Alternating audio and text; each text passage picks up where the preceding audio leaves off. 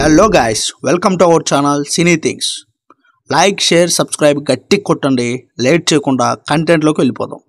అసలు bro cinema అంటే ఏంటో తెలుసుకుందాం పదండి. ఫ్యూచర్ గురించి కాకుండా ఇప్పుడు మనం ఎలా బ్రతుకుతున్నాం అనేది ఇంపార్టెంట్ అన్న విషయాన్ని సినిమా ద్వారా ప్రజెంట్ చేస్తున్నాం అని డైరెక్టర్ సముద్రకని చాలా ఇంటర్వ్యూస్లో చెప్పాడు. అండ్ తమిళంలో కూడా ఇదే ట్యాగ్ లైన్ చెప్పి ఆయన సక్సెస్ కొట్టాడు. కానీ తమిళ్ళో సక్సెస్ అయినట్టు తెలుగులో సక్సెస్ అవ్వాలంటే ఒక రీచ్ ఉన్న హీరోని చూడాలి. అదే పనిలో పవర్ స్టార్ పవన్ కళ్యాణ్ని చూస్ చేసుకున్నారు. అండ్ తమిళ్ళో ప్రజెంట్ చేసినట్టు సింపుల్గా తెలుగులో ప్రజెంట్ చేస్తే ఇక్కడ వాళ్ళకి అంతగా నచ్చకపోవచ్చని అందుకే మాటల మాంత్రికుడు అండ్ పవన్ కళ్యాణ్ ఫ్రెండ్ అయిన త్రివిక్రమ్ ఇన్వాల్వ్ అయ్యి స్క్రీన్ ప్లేలో మేజర్ చేంజెస్ చేసి సముద్రకని డైరెక్ట్ చేశాడు. మొత్తానికి మామ అల్లుళ్ళు పవన్ కళ్యాణ్ సాయి ధర్మ తేజ్ కాంబినేషన్లో బ్రో హై ఎక్స్పెక్టేషన్స్తో థియేటర్స్లో రిలీజ్ అయింది. ఈ సినిమా చూశాక నా ఫీలింగ్ ఏంటంటే జస్ట్ యావరేజ్ అనిపించింది. Only for Pawan Kalyan fans అనిపించింది. మెయిన్ రీజన్ ఏంటంటే మూవీ ఎగ్జిక్యూషన్ ఫెయిల్ అయిందని చెప్పుకోవాలి. సో లేట్ చేయకుండా డీటెయిల్ రివ్యూలోకి వెళ్ళిపోదాం. కాలంతో పరిగెత్తే మార్కండేయ అంటే సాయి ధర్మ తేజ్. ఎప్పుడు టైం లేదు టైం లేదు అంటూ చాలా బిజీగా గడిపేస్తుంటాడు. అతడికి తల్లి తమ్ముడు ఇద్దరు చెల్లెళ్ళు ఉంటారు వాళ్ళిద్దరి బాధ్యత తనదేనని వాళ్ళకి జీవితంలో సరైన మార్గం చూపించాలని ఒక తండ్రిలా తపన పడిపోతుంటాడు.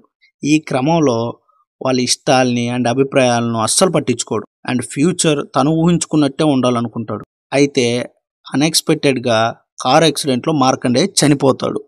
మార్కండేయ ఆత్మకు టైం అంటే పవన్ కళ్యాణ్ దర్శనమిస్తాడు. అసలు నేను ఎందుకు చనిపోవాలి? నేనేం తప్పు చేశాను? నేను లేకపోతే నా కుటుంబం ఏమైపోతుంది? అని టైంను ప్రశ్నిస్తాడు మార్కండేయ.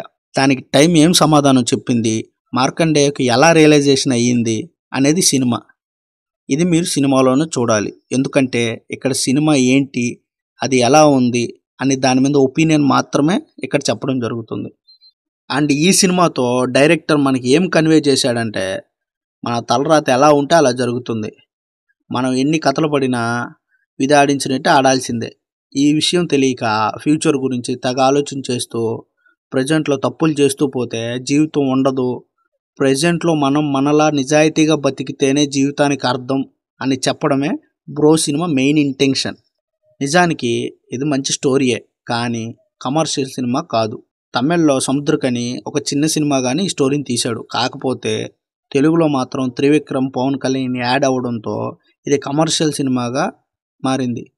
దానికి తగ్గట్టుగానే త్రివిక్రమ్ స్క్రీన్ ప్లేలో చేంజెస్ చేసి తీశాడు. అయితే ఆయన పవన్ కళ్యాణ్ అభిమానులకు మాత్రమే దృష్టిలో పెట్టుకొని చేంజెస్ చేసినట్టు క్లియర్గా సినిమాలో కనిపిస్తుంది.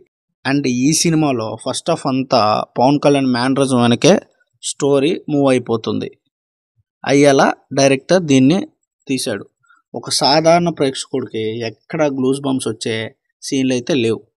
కథ చాలా ఫ్లాట్గా వెళ్ళిపోతుంది. కానీ ఫోన్ కళ్యాణ్ అమ్మాయిలకు మాత్రం ఫుల్ ఎంటర్టైన్మెంట్ అని చెప్పుకోవాలి.